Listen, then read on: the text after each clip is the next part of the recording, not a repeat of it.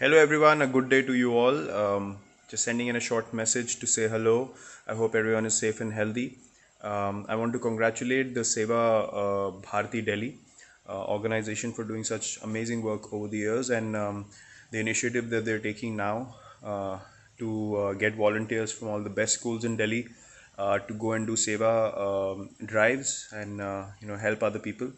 Um, so I just want to say that do it with all your heart, do it with um, absolute pure intent, and helping another life, helping another soul is the biggest work that you can do. So I wish you all the best, uh, safety and health as well.